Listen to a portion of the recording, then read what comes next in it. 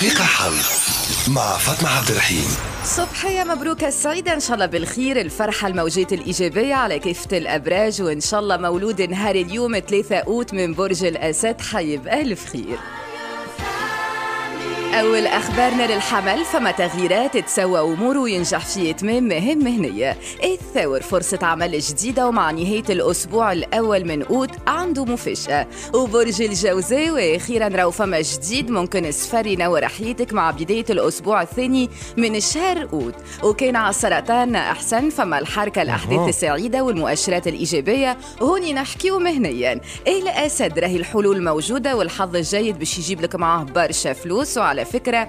راهو عندك موعد مع السفر العذراء فترة ممتازة باتصالاتها حلول البعض الخلافات بالخدمة والمفاجآت السارة باش تكون من نصيبك. فما زيادة راهي باش تتغير حياتك للأفضل والفيل الزين ينور حياتك أنت وباقي الأبراج الترابية. هو كي تجي تشوف إيش مازال على احتفالاتهم بعيد ميلادهم. الميزان نهاير الفلوس من مديدة وأنت تستنى فيها المبلغ اللي نجم يغير مجرى حياتك الشهر هذا. أهو جاي والحمد لله.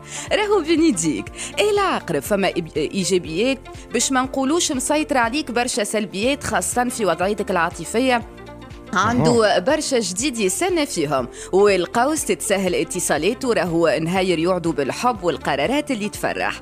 نتعدى ونحن للجدي فما مشاريع هي المشاريع موجودة لكن كي تجي تشوف الفلوس منين؟ ميسالش العلا فيها؟ خير أنت مطالب بالحركة وإن شاء الله يا ربي يسهلك في كل ما هو خير. الدلو؟ راهو عنده الحلول المهنية وفما زادة عملية استثمارية ناجحة. ونختموا مع الحوت راهو فما مشاريع جديدة لكن طالبين منك حاجة برك وإن شاء الله يا ربي منش قاعدين نقلقوا فيك؟ نحبك تركز وخلي خطواتك مدروسة.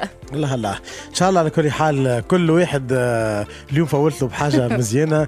يخلط لها واللي عنده سفر اللي عنده فلوس. أهم حاجة اللي عنده فلوس إن شاء الله مفوله كيف ما يتقن يعطيك صحة فاطمة.